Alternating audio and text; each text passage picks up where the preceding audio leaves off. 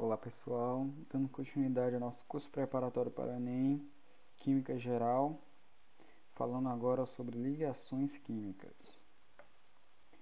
O objetivo da nossa aula de hoje é que você saiba diferenciar os diversos tipos de ligações químicas e entender quando cada tipo ocorre.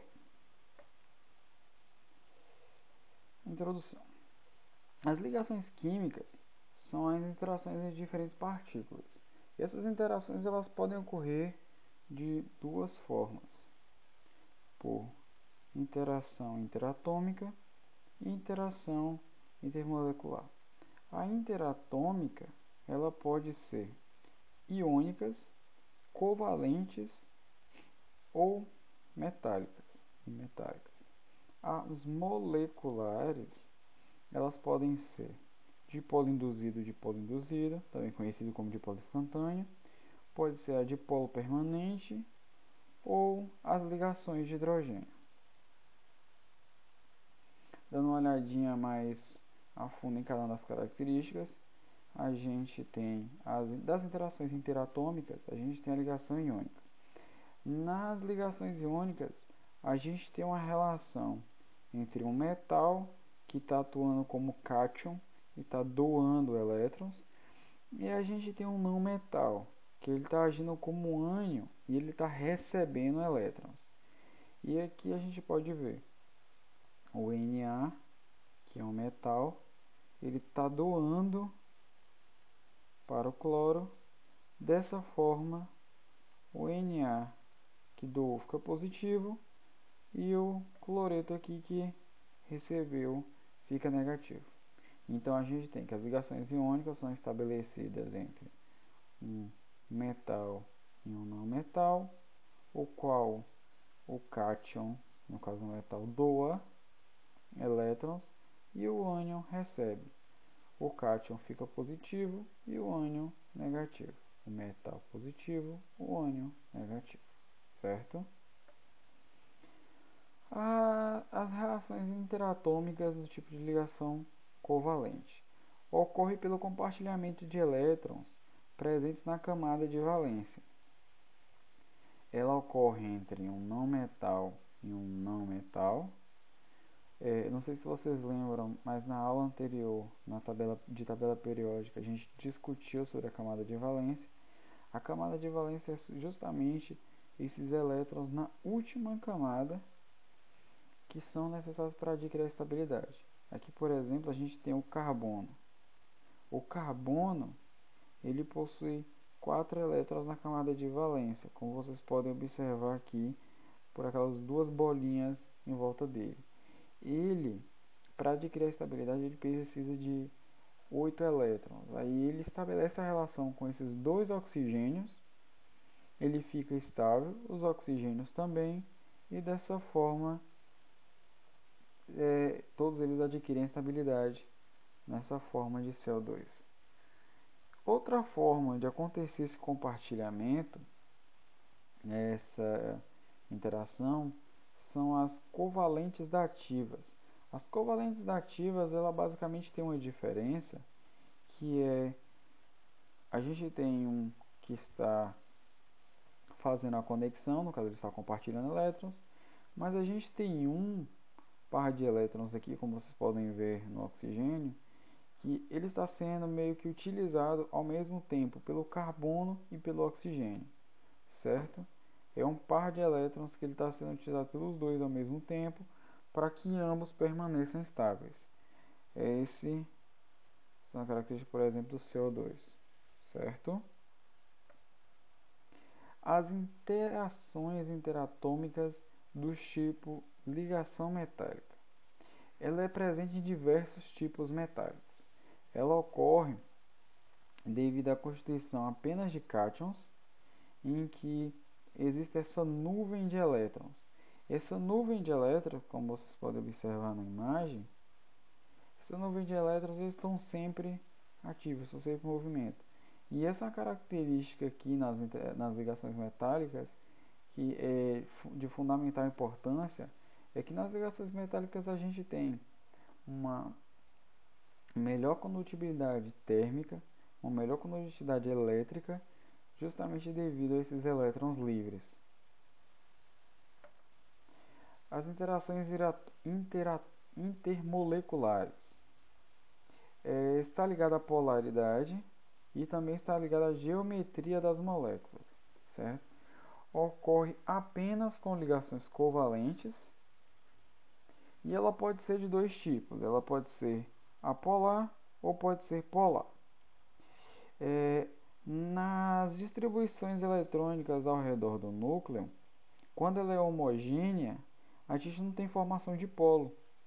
Como a gente não tem formação de polo, ela é apolar. Por enquanto, nas interações polares, na interação polar, essa distribuição não é homogênea. Então, como os elétrons se distribuem mais em um ponto do que em outro, a gente tem a formação de um falso polo. E esse polo, perdão, a gente tem a formação de um polo devido à concentração de elétrons em determinado lugar. É, essa localização da quantidade de elétrons mais é, em um lugar do que em outro, ela acaba causando é, esse, essa impressão de polo positivo e polo negativo, causando, produzindo uma molécula polar. É, nas, nas, interações intermoleculares, são ligações apolares, as do tipo de polo induzido de polo induzido, que ela ocorre justamente porque ocorre um afastamento temporário, ocorre aquele, aquele arranjo que a gente havia discutido que acontece nas polares, aqui acontece, acontece temporariamente. Como duas moléculas se aproximam, elas formam polos temporários de carga oposta. Só que esses polos são, não são permanentes, eles são temporários. Por isso ele é chamado de polo induzido de polo induzido, porque é um polo induzido. Ele é um polo induzido graças a outra molécula. Certo. As intermoleculares do tipo polar, elas podem ser de polo permanente ou ligações de hidrogênio.